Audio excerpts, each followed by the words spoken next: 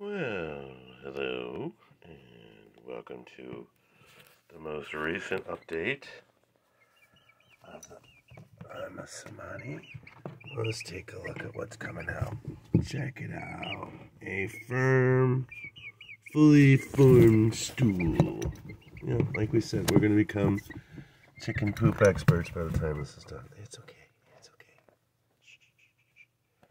I got you. What you doing? She's standing up. She is walking.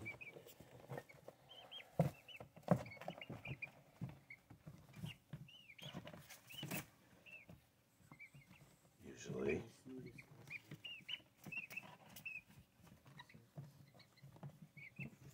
So much calmer a moment ago. There we go. Now she's standing up. Now she's standing. So as you can see, still very active. Um, this is the same bowl from this morning, same bowl of food. Uh, slowly been having her sit on my lap. Look at that. See? Just walked over as soon as I moved the camera. Uh, She's running back and forth like she's in a, in cage match. But she, as you can see, she gets her balance and loses the balance. All right, I'm gonna take this. Oh my goodness, little girl. Little chicken. There we go. Is that better? That better?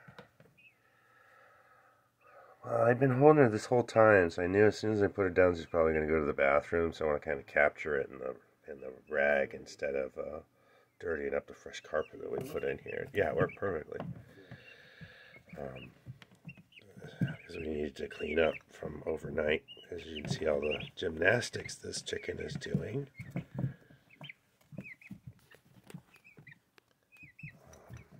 this back in the middle again. Trying.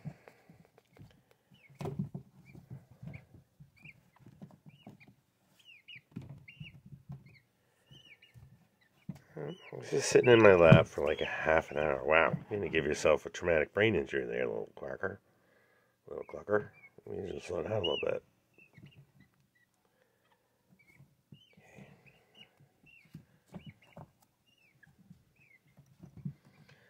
At least it's not continually falling to the right all the time.